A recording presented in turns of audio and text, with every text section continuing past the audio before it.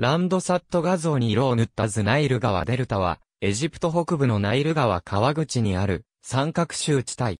アレクサンドリアからポートサイドにかけ、東西 240km にわたり広がる、世界最大級の三角州で、肥沃な土壌を生んでいる。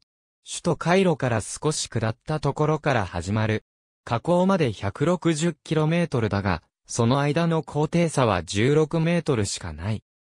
デルタの厚さは平均20メートル。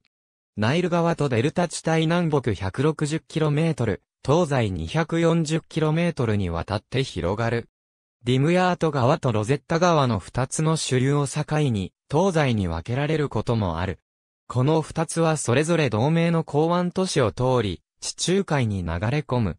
過去にはもっと多くの分流があったが、治水事業により、多くが消滅した。その一つにワジ・トゥミラートがある。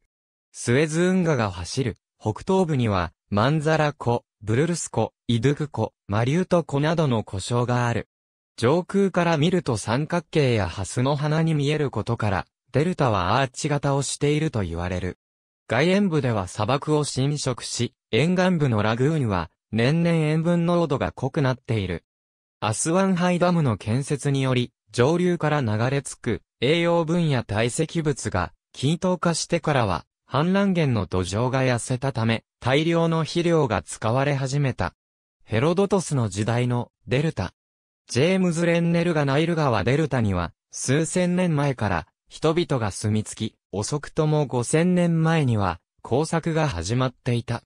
上流にアスワンハイダムが建設されるまでは、ナイル川は毎年のように氾濫を起こしていた。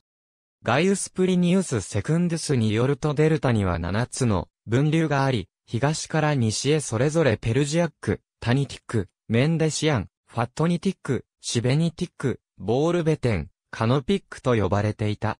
現在では、治水事業などによりほとんどが消滅し、東にディムヤート川、西にロゼッタ川が流れるのみである。デルタの西端には、アレキサンドリア、東端には、ペルシウムという大きな港湾都市があった。1799年には、ロゼッタ市で、ロゼッタストーンが発見された。ファラオの時代には、下エジプトや、ゴシェンの地として知られていた。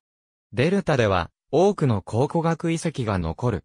エジプトの総人口8000万人のおよそ半数が、デルタ地帯に住む。主要都市の郊外では、人口密度が1平方キロメートルあたり1000人を超える。黒原アジサシアキには一部で赤いハスの花が咲く。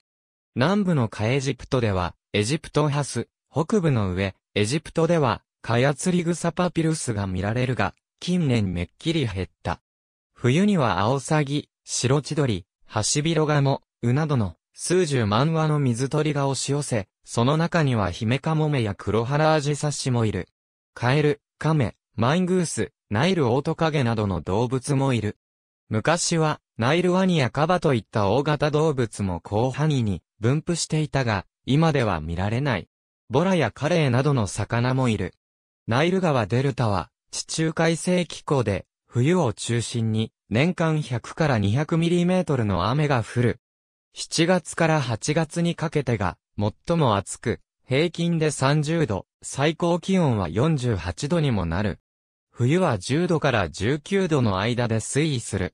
この気温と少々の雨により、冬はかなり湿度が高くなる。ありがとうございます。